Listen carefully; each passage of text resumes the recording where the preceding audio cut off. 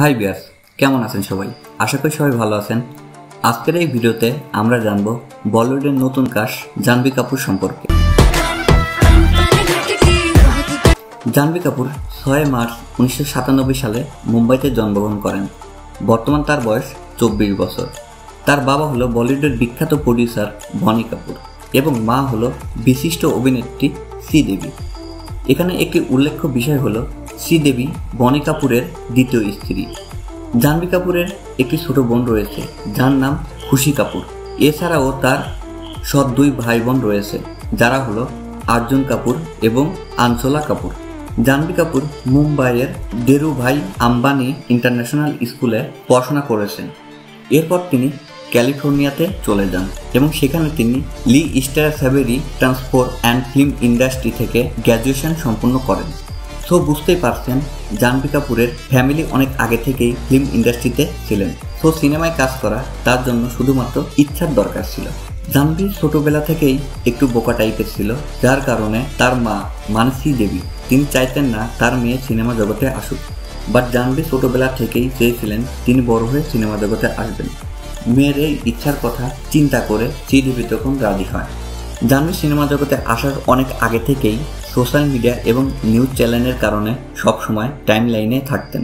বুঝতেই পারছেন, যেহেতু তিনি শ্রীদেবীর মেয়ে, আর নিউজ চ্যানেল এর কাজই হলো সবসময় স্টার কিডদের পিছনে লেগে থাকা। সেটা যাই হোক, সোশ্যাল মিডিয়া এবং নিউজ চ্যানেলের টাইম লাইনে থাকার কারণে সিনেমা জগতে আসার অনেক আগে থেকেই তার অনেক ভক্ত তৈরি হয়। জাহ্নবী কাপুরের প্রথম ফিল্ম এর প্রস্তাব আসে তেলুগু ফিল্ম ইন্ডাস্ট্রি থেকে। যে সিনেমায় তার বিপরীতে অভিনয় করার কথা ছিল তেলেগুর superstar Mahesh Babu but Jahnavi তার ডেবিউ ফিল্ম বলিউডে করতে চেয়েছিলেন, তাই তিনি তেলেগুর সেই সিনেমাটি রিজেক্ট করে দেয়। এরপর জাহ্নবী এর কাছে ধারাক মুভি এর অফার আসে এবং তিনি এই সিনেমা করার জন্য রাজি হয়। এই সিনেমার শুটিংয়ের সময় তার সাথে একটি দুঃখজনক ঘটনা ঘটে। দুই হাজার আঠারো সালে তার মা মারা যায়, যার ফলে তিনি মানসিকভাবে ভীষণ ভেঙে পড়ে যাই হোক দু হাজার আঠেরো সালে তার ধারাক মুভি মুক্তি পায় এবং সিনেমাটি সুপারহিট হয়। এবং এই সিনেমায় জাহ্নবীর অ্যাক্টিং সবাইকে মুগ্ধ করে। জাহ্নবী কাপুরের দ্বিতীয় সিনেমা গোস স্টোরিজ দু হাজার বিশ সালে নেটফ্লিক্সে মুক্তি পায়।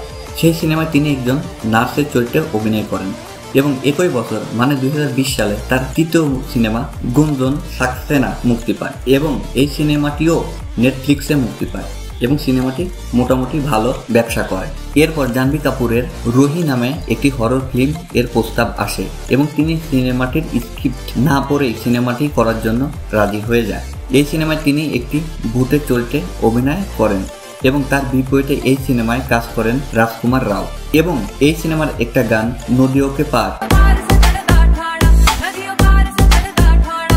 ব্যাপক হিট হয়, যার ফলে জাহ্নবী এখন বলিউডের মোটামুটি ভালো অবস্থানে রয়েছে।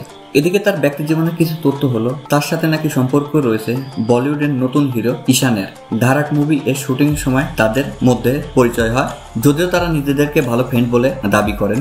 এদিকে তার ব্যবহৃত গাড়িগুলো হলো Mercedes Maybach S five sixteen, যার দাম দুই কোটি দশ lakh rupee.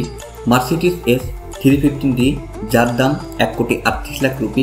এছাড়া রয়েছে বিএমডাব্লিউ এক্স ফাইভ যার দাম পঁচাশি লাখ রুপি এবং সত্তর লাখ রুপির একটি Mercedes GLE two fifteen D রয়েছে। সোবিয়াস এই ছিল জাহ্নবী কাপুর সম্পর্কে সংক্ষিপ্ত ভিডিও ভিডিওটি ভালো লাগলে লাইক কমেন্ট অ্যান্ড শেয়ার করুন এবং এরকম ভিডিও আরও পেতে চাইলে চ্যানেলটি সাবস্ক্রাইব করে আমাদের সঙ্গে থাকুন। পরবর্তী কোন সেলিব্রিটির বায়োগ্রাফি সম্পর্কে জানতে চান, সেটা আমাকে কমেন্ট করে জানাতে পারেন। সো ভিয়ার্স ভালো থাকবেন সবাই।